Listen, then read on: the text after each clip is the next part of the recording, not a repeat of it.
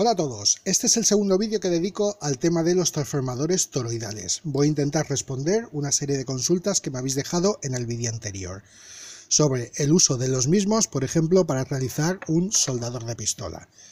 Pues bien, la primera consulta que me habéis realizado es ¿qué hago con el cableado secundario? El cableado primario del transformador lo vamos a seguir utilizando, ya que es por donde vamos a alimentar el mismo, no tenemos que tocarlo, y el cableado secundario me preguntabais si había que cortarlo o eliminarlo. Pues no, sencillamente no hay que tocarlo. Lo dejaremos en el mismo transformador, ya que no nos molesta para nada, y lo único que hacemos es cortar sus cableados de salida. En este caso los he eliminado, sería cuestión de colocarle un poco de cinta aislante para protegerlos. En este caso, como tiene la funda de goma que lo protege, pues sencillamente quedan ahí muertos, no hay que darles ningún tipo de tratamiento más. Al otro transformador que todavía no le he eliminado los cableados, pues lo dicho, le cortaré los cables a ras para que no molesten, los encintaré y elimino toda la parte del cableado. Por lo tanto quedaría solamente el bobinado principal con el bobinado secundario, pero sin uso. Y la bobina que le añadimos de cuatro espiras, que esta se ve claramente en ambos que es un añadido. Pues bien, segunda consulta que me hacíais, y era si esto era el soldador definitivo que lo veíais peligroso, incómodo, etcétera, etcétera. Pues no, esto no es el soldador definitivo. Esto sencillamente es la base, el corazón de lo que será el soldador. Ya que si viéramos el mismo ya montado con el mango en un tipo de caja o encapsulado y demás, pues no veríamos lo que lleva en el interior. El cometido del vídeo anterior era que vierais cuál es el corazón, la base de un soldador de tipo pistola.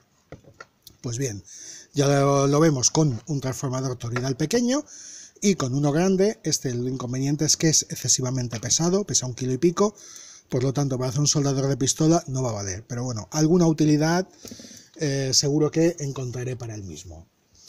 Tercera consulta, me hacíais cuál era la potencia de los transformadores. En este caso, el transformador pequeño es de 50 voltamperios.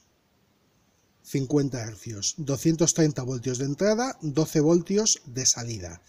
La salida de los 12 voltios no son reales ya que vamos a utilizar un bobinado diferente al original del transformador.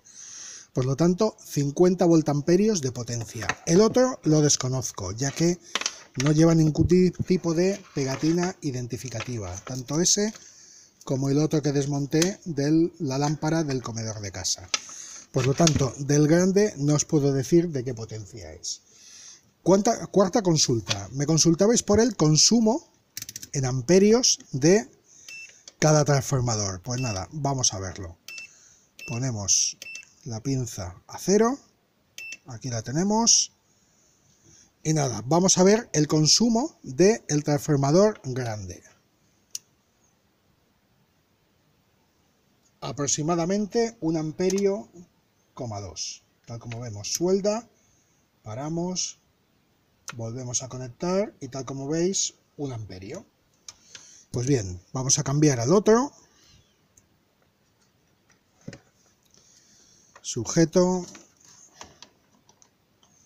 la posición que se vea la pantalla del amperímetro de la pinza y en este caso su consumo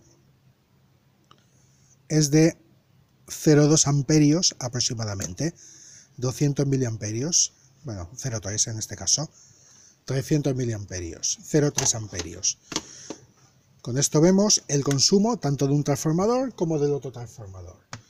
Y quinta consulta, que lo veíais peligroso, que si tenía peligro. El peligro, una vez que lo tengamos todo encapsulado, protegido y demás, pues el único que tiene es que la punta, si la tocamos, pues quemará.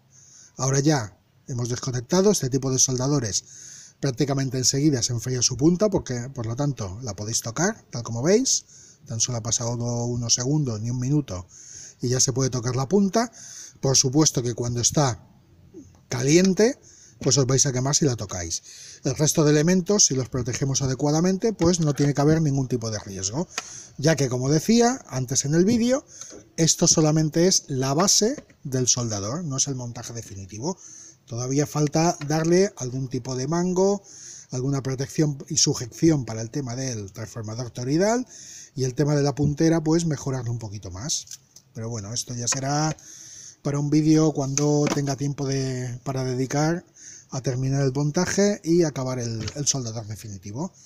Pues bien, espero que con estas cinco consultas que me hacéis quede todo resuelto. Espero que os haya gustado. Un saludo para todos.